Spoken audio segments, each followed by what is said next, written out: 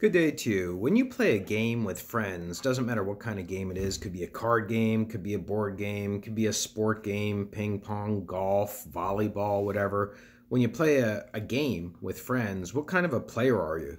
Are you a player that, you know, on the outside you appear all fun and everything, but when it comes down to it, you've got to win and you're going to do everything you can to win. I'm not going to say that you're a cheater and that you'll cheat, but you will if you're a ping pong player, you'll do a sneaky serve for example, you got to win. Or you a person that, you know, sort of gets to the end, you sort of give up. Maybe you don't even need to finish. If you, if you do miniature golf, maybe you'll play 16 and then skip a couple holes. It's not that important. It's more about the fun. Are you a person who expects to lose? These are all ways of approaching game playing from a point of view of philosophy. A philosophy of how you should approach the game, how you should carry out the game, how you should conduct yourself. What are the fair rules and what are the unfair rules? How should a player be penalized? How should a player be rewarded?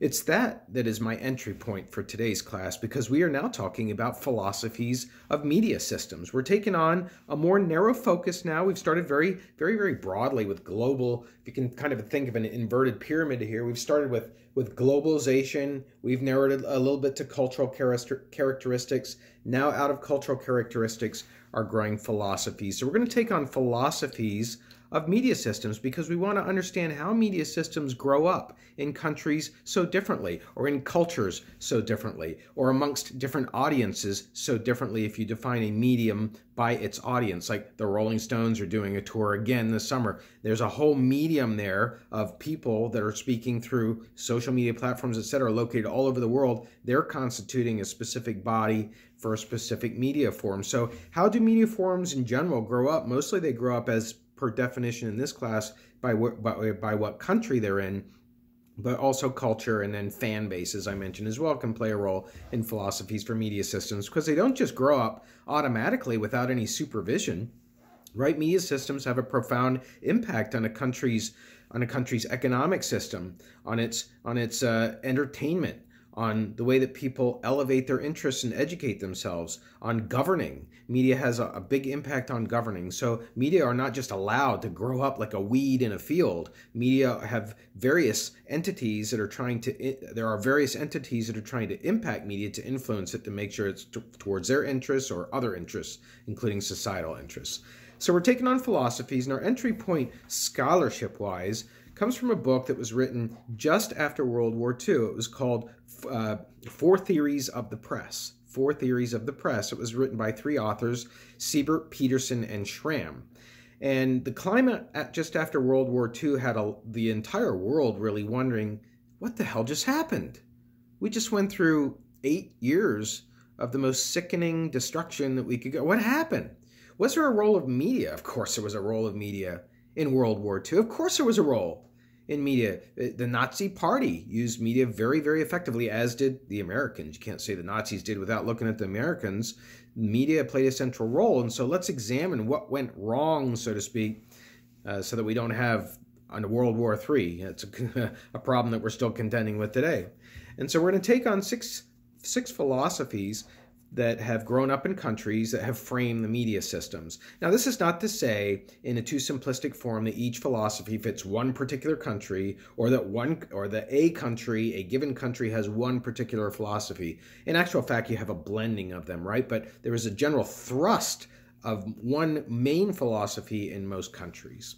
And furthermore, four of these philosophies are what we call legacy philosophies. They they are they have a substantial body of research that has been, been written about them, that has developed them, that has provided a theoretical foundation from which quantitative and qualitative and all kinds of other ways of approaching re- the research questions within those philosophies have been developed. So, so four of those are legacy philosophies, and then we have two newer, still emerging philosophies. They are in their nascent state, if you know that word, the beginning state. They're they're still being developed. So let's take them on. We're going to go to the first one, and it is authoritarianism. And authoritarianism is easy to dismiss this one. I mean, the word authoritarian we can't stand. We may think for example, of our parents when we were 16 years old, you know, staying out later than we were supposed to, maybe leaving a beer bottle in the garage, and something that we were not supposed to do according to our parents' rules. And, and what's the consequence? Yeah, curfew for some of us, or privileges suspended, like the ability to use the parent's car.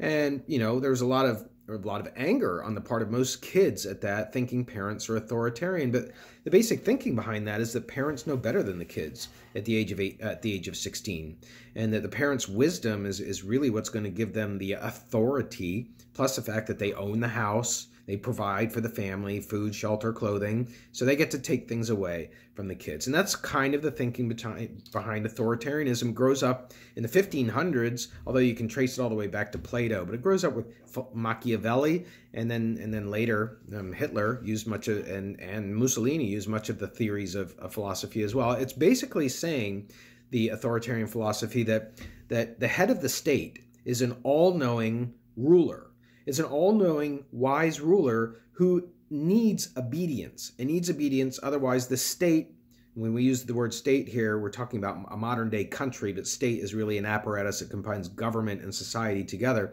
That the state is has the head of the state is an all-knowing ruler and deserves the obedience of the people because the, the ruler knows better than the people. The ruler is better educated, and in many but not all cases, the ruler also has a divine connection to a deity. They could be a priest, for example. They could be a, a, an ayatollah. The head of state with a religious connection has that is that you have to go through the head of state to get to the all the all-knowing all-knowing deity because the all-knowing ruler has the knowledge of that access. And so there's a lot of faith placed in the decisions made at the very top of the state, and you follow right along.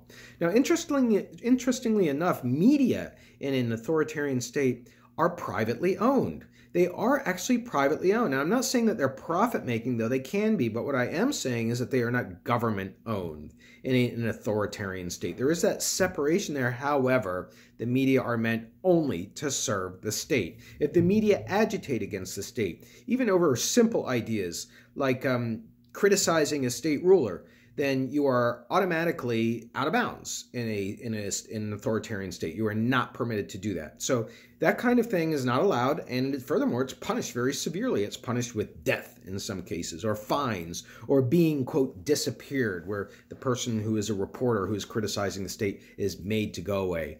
Uh, punishments are very, very, very fierce in an authoritarian philosophy. And I see my phone is running out of time, so I have to stop this and continue with a second video.